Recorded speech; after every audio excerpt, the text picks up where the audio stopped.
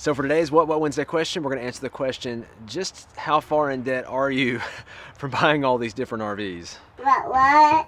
I'm gonna start off by reading a comment we got on YouTube. We get several of these like this, and so I, so I know that this is kind of something that's on people's minds. Like, how do we even sleep at night with all all the debt we've got from these RVs? So here's a says, but now you have an RV that's worth only 40% of what you paid for it. Uh, it says your house was at least increasing in value.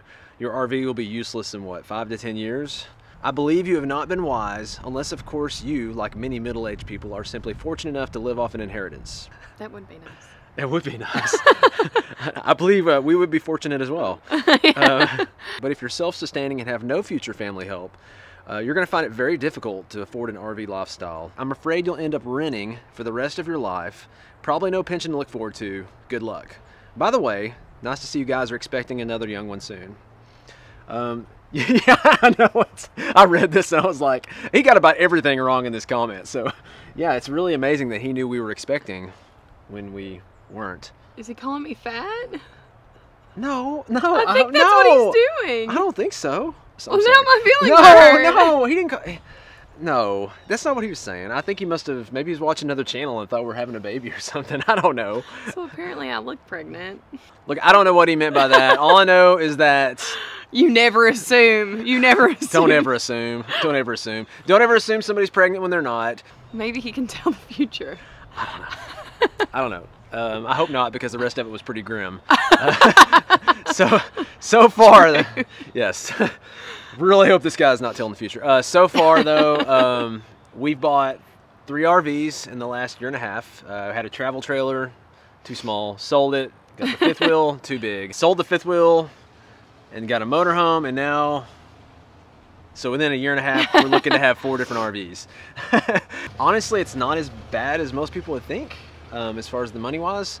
We have taken the approach for the most part with RVs, um, especially with our first one. Our theory was if I can find a deal on an RV, I know I can turn around and sell and either at least break even or even better make some money.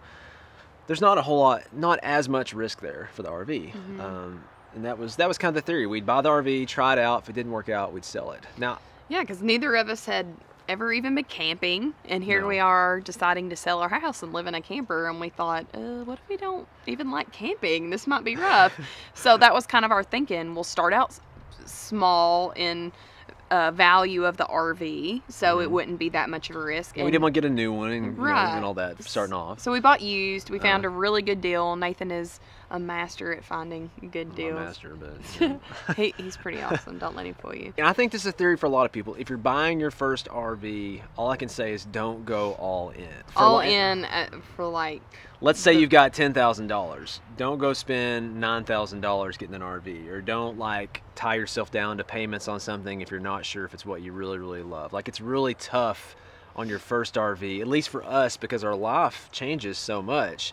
It's tough to go all in on something. I'm not saying don't buy new. I'm not saying don't spend a significant amount of money. I'm just saying no kind of yeah. Because just expect that something's yeah. It is your house. I mean, so we get that. You don't want to, you know, be having something that's breaking down all the time Mm-hmm. and you're having to put a bunch of money into it. But so I get that. I mean, I get that feeling of wanting to go out and buy something super nice and expensive. But we we've had to kind of work our our way towards getting where we are. Yeah, yeah.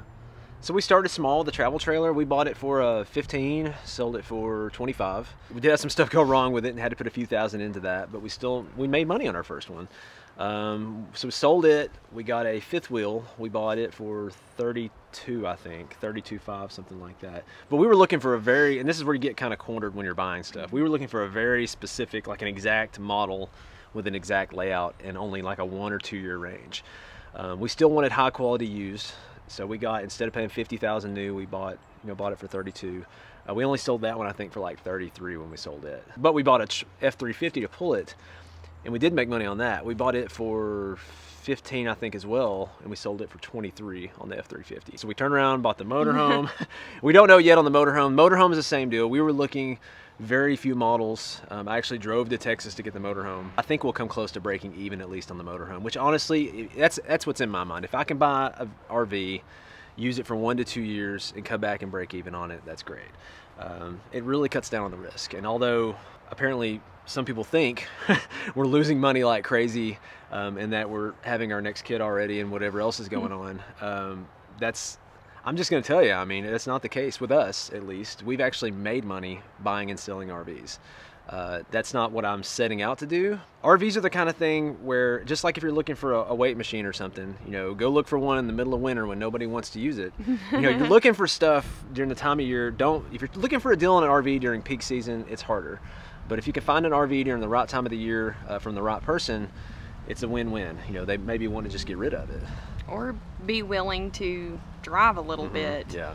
Um, Nathan's had to do some pretty long hauls. Um, we've never been super lucky and found one super close. I guess our fifth wheel was in three hours. Our fifth wheel was the closest one. It was about four hours away. But, Everything else was yeah. like six, eight, twelve, you know, hours away. So we wanted to talk about this because I know some people may be worried for our financial well-being if we're looking for another RV, our fourth one in a, year and a half. Well, and um, people might be wondering how to do this and how to make changes, mm-hmm. or you know, what if they feel stuck and feel like, well, I'm going to lose money if I sell my RV yeah. or if I go find another RV. And you know, we just we really try to put a lot of thought into that and make logical and not emotional decisions sometimes. We felt like we've made the best decisions where we were at at the time.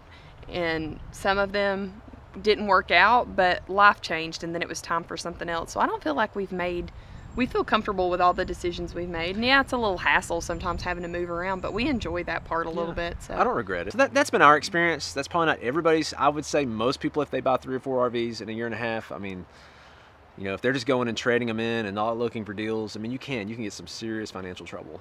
And so far for us, we sold our house, we got some cash from that, and so we've been able to pay cash for every RV we've had. And I would recommend, um, I'm not saying you have to pay cash for what you're getting, but definitely have cash reserves. And like I said, don't go all out on your first RV. It breaks my heart. I've seen a lot of people, you know, we follow a lot of people, talk to a lot of people who went all out on a brand new RV and like three months later realize it's not mm-hmm. what they mm. wanted at all. And that's not a good situation to be in at mm-hmm. that point because, I mean, it's, it's okay to buy new, but you got to really know it's the RV for you if you're going to buy new. Did I just rhyme, kind of? I don't know what I just said. That's us. That's our story. If you got other questions or comments, just let us know.